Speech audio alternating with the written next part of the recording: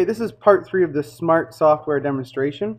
Uh, this time we're going to be focusing on the SMART notebook response questioning techniques and uh, how you can use that and how the students can uh, use their own netbooks to answer questions that you've created.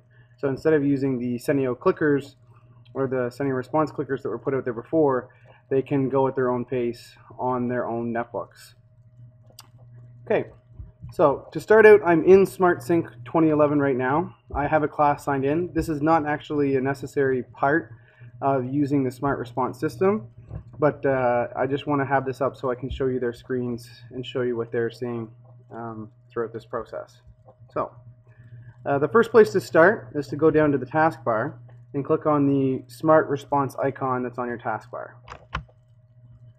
The first place you're going to go in this list is underneath configure devices, you're going to want to go into setup tool. Okay? And you want to make sure that you selected Smart Notebook SE so it's looking for the netbook version and that it's not looking for the response clickers. As you can see there are a whole list of other options to choose from as well.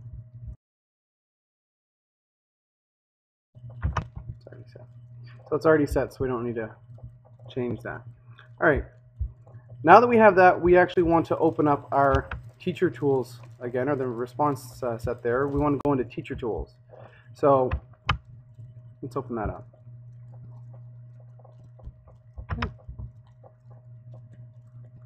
Now, I'm uh, already logged in in anonymous mode, but usually the screen that you will see when you log in for the first time will be this.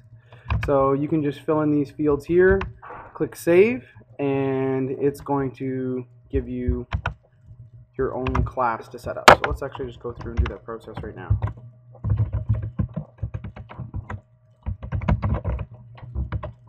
School District 8.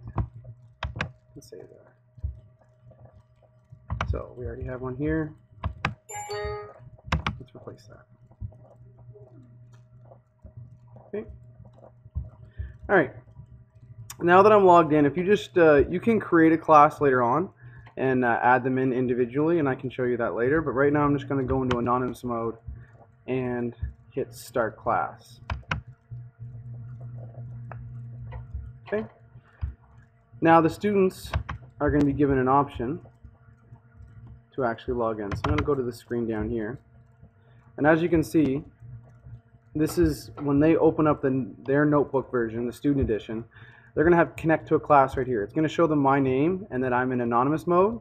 And when they double click on that, then it's going to sign them in. Let's just do that right now. Okay.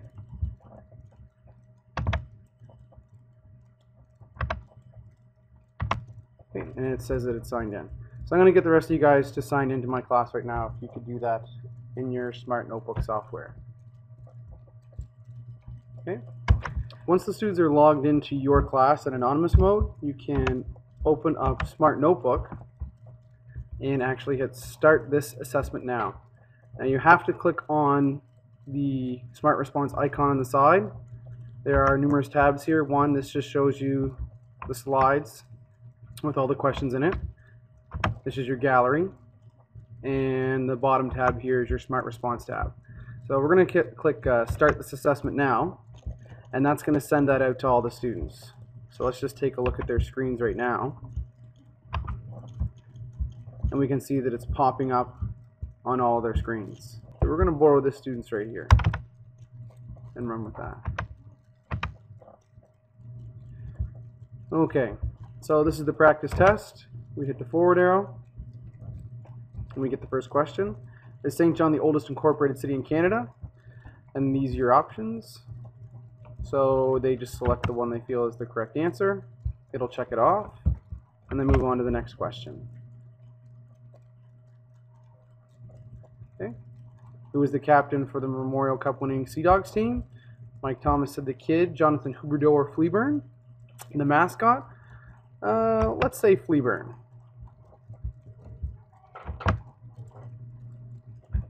And how many Sea Dogs games will you be attending this year? We'll just double click up here where it says type your answer. And say 30.